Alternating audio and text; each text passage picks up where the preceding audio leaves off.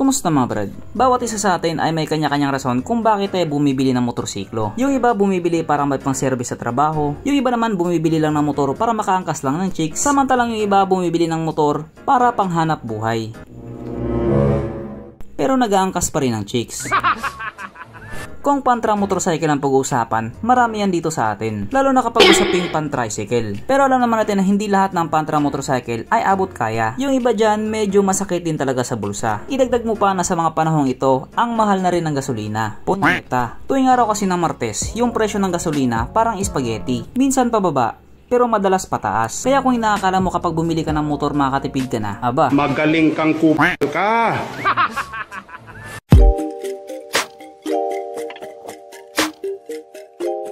Pero syempre bago tayo magpatuloy, kung bago ka pa lamang napadpad dito sa aking walang kwentang channel, eh, huwag ka na mag-subscribe. So yun na nga, kung ang hanap mo ay isang pantrabahong motorsiklo, yung tipong mura na, tapos matipid pa sa gasolina, eh di wow, ito na yung para sa'yo. Walang iba kundi ang TVS XL100. Ito yung klase ng motor na pag nakita mo, pwede na. Lalo na kung gipit ka sa budget, talagang pwede na. Sa halagang 31 to 36,000 pesos, magkakaroon ka na ng ganito. O ba? Napakamura. Kung looks ang pag-uusapan, sa unang tingin, mapagkakamalan mo talaga siyang e-bike. Pero okay lang naman yun. Ikaw nga sa unang tingin na pagkakamalan kang alien. Pero okay lang din naman yun. Importante buhi. Kagaya nga na sinabi ko kanina, kung ang hanap mo lang naman ay isang mura at matipid sa gasolina ng motor, ito na siguro ang para sa'yo. Okay. At dahil dyan, pag-usapan na nga po natin kung ano nga ba ang meron sa motor na ito at kung gaano nga ba siya kaganda. So ito nga po ang TVS XL100 na mayroong 99.7 cubic centimeter engine displacement, 4-stroke single cylinder, single overhead cam with 2 valves, carburetor type at ito po ay naka-air-cooled lamang. Pero sa bansang India, meron na po silang FI. Hindi ko lang sure kung may FI na rin ba dito. Comment yun na lang sa baba kung meron. Baka hindi lang ako updated. Pero doon sa ano, updated ako. Alam nyo na yun. Pagdating naman po sa kanyang power, ito ay mayroong 4.3 horsepower at 6,000 RPM. 6.5 Nm of torque at 3,500 RPM. At base nga po sa mga taong nakagamit sa motor na ito, ito daw po ay kayang tumakbo sa bilis ng 60 to 65 km per hour. Eh kasi nga, hindi naman talaga siya nakadesenyo para sa mga racing-racing. At sa presyo niyang 31 to 36,000 pesos, don't expect too much. Mahiya ka naman sa balat mo. Kaya nga mura eh, kasi mapapamura ka din. I mean, kasi mura talaga siya. Ang kanyang tangke ay kayang magkarga ng 4 liters fuel tank capacity na kumukonsumo nga daw po ng 67 kilometers per liter. O ba? Diba? Yun naman yung good side niya. Napakatipid niya sa gasolina. Siyempre sasabihin naman ng iba, mabagal naman tumakbo. At sasagot din naman yung may mga ganitong motor, tipid naman sa gasolina. Hanggang sa paulit-ulit na lang silang ganon.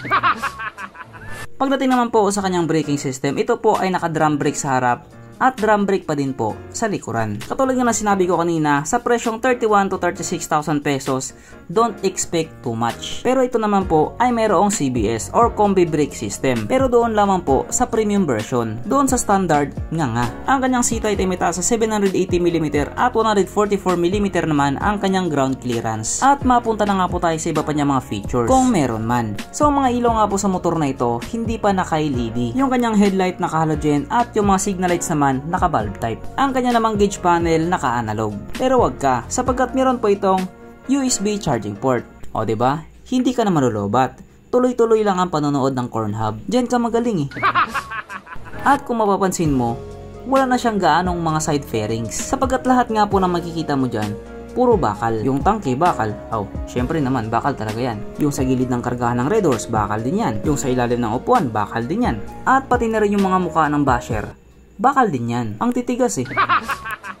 At ito na nga po yung unique sa motor na ito sapagkat kung titingnan mo siya, para siyang dikambyo. Pero ang totoo niyan, siya po ay automatic. Automatic pero gumagamit pa din ng kadena. O di ba? Ibang klase talaga si TVS.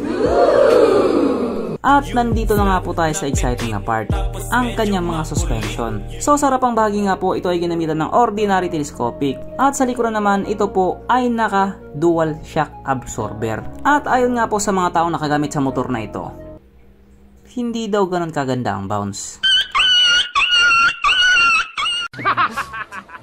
At dahil dyan, marami na namang nalungkot. At dahil nga po marami ang nalungkot, aalamin na po natin kung present nga ba sa motor na ito yung tatlong pinaka-importanting features. So una na nga po dito ang kanyang lagay ng istalyon. Masakit mang sabihin, pero wala po siyang ganon. Wala po siyang lagayan ng istalyon. Pangalawa, wala din po siyang sabitan ng andox. At oras na nga po para sa ating Red Horse Check, ang pinaka-importanting feature sa isang motor. At ayon nga po sa kay masusing pag-aanalisa, ang motor na ito ay kayang magkarga ng anim na kahong Red Horse.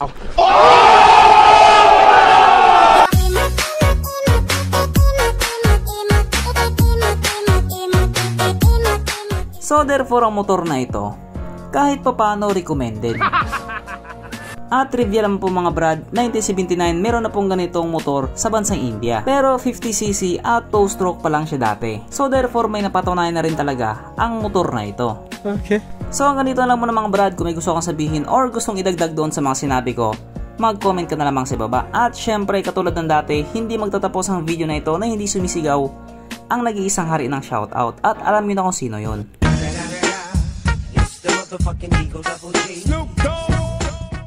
So shout nga pala kay Kisses TV at pati na rin sa kanyang mister na Yakuza. Shoutout kay Marvel Cruz. Shoutout kay Johnny Hilmar Viloria at pati na rin sa kanyang palalab na si Rosjin Roa Monterde.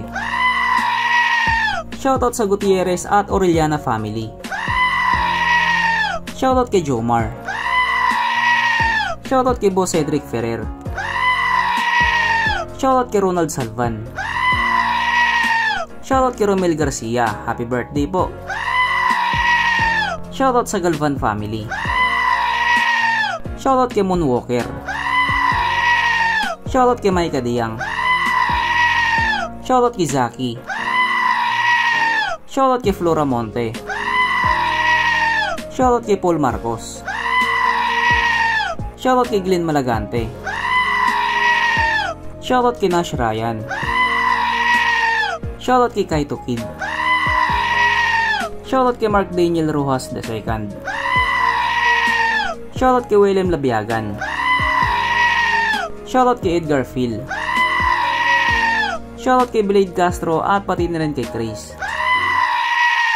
Shoutout kay Norgy Diposo. Shoutout kay Chen Chen. Shoutout kay Kim Zwirin. Shoutout kay Christian Salcedo. Shoutout kay Israel Genesis Castro. Shoutout kay Joshua Baleta. Shoutout kay Ricky Rosario. Shoutout kay Clyde Longsod. Shoutout kay Adam Nicole. So hanggang dito na lang muna mga brad at muli ride safe, stay at home at stay safe at syempre, stay alive, kay bye.